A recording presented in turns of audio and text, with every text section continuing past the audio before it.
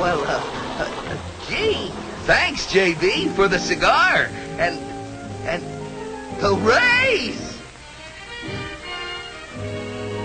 Sixty bucks a month. Hey, can I use it? Sure you can, Mr. Finchley. But how? Huh? Yes, what will you do with those extra dollars? There are lots of things you could do. Bury it in a tin can in the backyard, for instance. But idle money may in time depreciate. Or you could spend it on a couple of nights out a week with the wife.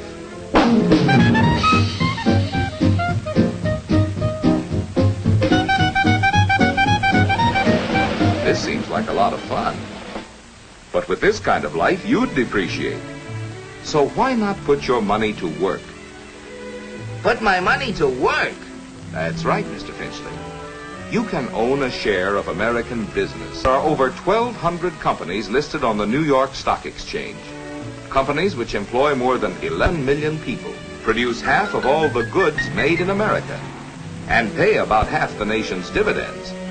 Many of these companies have been paying dividends for 25 years or longer. Tycoon. Neither are most of the people who own shares in American business.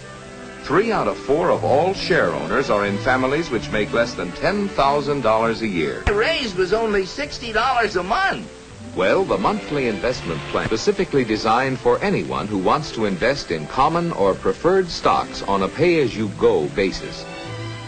You can $40 up to $1,000 every month or every three months under MIP.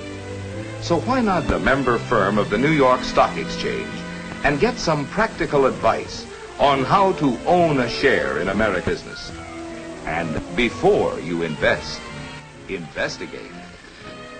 Mr. Finchley, there is a big difference between dealing with a fly-by-night operator and a reputable broker. Please sit down, Mr. Finchley. First, tell me, what are you gonna sell me? Not a thing, Mr. Finchley. As members of the New York Stock Exchange, we are prepared to be of service to you at least. Every day, member brokers buy hundreds of thousands of shares of stock. A doctor in Atlanta wants to buy some stock. A farmer in Spokane wants to sell his stock in the same company to get uh, cash, say, for a new tractor. The Atlanta broker for the buyer and the Spokane broker for the seller speed the orders to their exchange members on the floor of the New York Stock Exchange. When the floor broker representing the buyer bids the price asked by the floor broker representing the seller, a transaction is made. When you sell securities on the New York Stock Exchange, you win cash by the buyer. Every day, millions of dollars of listed securities are bought and sold on the New York Stock Exchange. You can check the price of your stock in a daily newspaper or by getting the latest market quotation from a member broker like myself. Well, uh, how do I get the facts before I invest? Before you'd buy stock in a company, you'd want to know, among other things, its record of sales. For previous years, what dividends it has paid, and its prospects for the future. Of course, we can't foretell the future, but we can give you many facts and figures to help you select a suitable stock. Well, how about this monthly investment plan?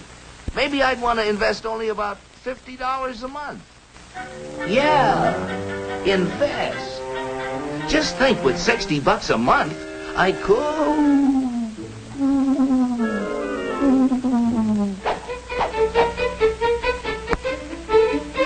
Just a moment, sir, if you please. You look like the kind of a pigeon, uh, uh, uh, man of judgment who knows how to invest his money wisely. Uh, won't you step into my office, please? Uh, let me give you a hot tip, uh, strictly confidential. For a limited time only, we are offering to discriminating buyers like yourself a few shares in a world-famous company with mines in Nigeria, Tasmania, Somaliland, and Brooklyn. It's Utopium Unlimited. It glows in the dark. Small investment, big profit. As a special favor, I'll let you have 100 shares for only 40 cents a share. That comes to $40. Plus, of course, $20 for putting you onto a surefire. That's right, Mr. Finchley. All investors should study the facts carefully before they buy any stock. And remember, The monthly investment plan is designed especially for people who want to invest as little as 40 or $50, as well as for those who want to invest up to $1,000 every month or every three months. There are many promising investment routes to travel.